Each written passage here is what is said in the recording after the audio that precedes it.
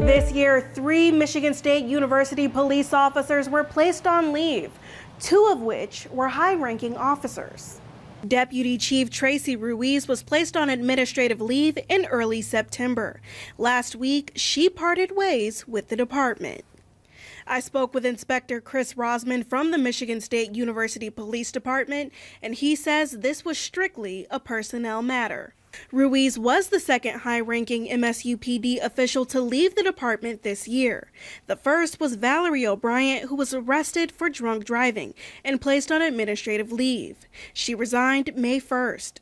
Rozman confirmed that Sergeant Michael Aguilera was also placed on leave, stating that this was also a personnel matter. When asked how MSU police plan to move forward, Rozman said in a statement, Our law enforcement officers are trusted with the responsibility to serve and protect all members of our community.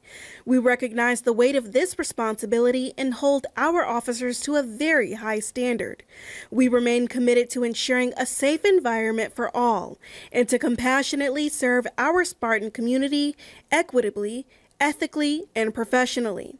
For now, I'm Yasmin Ludi, Fox 47 News.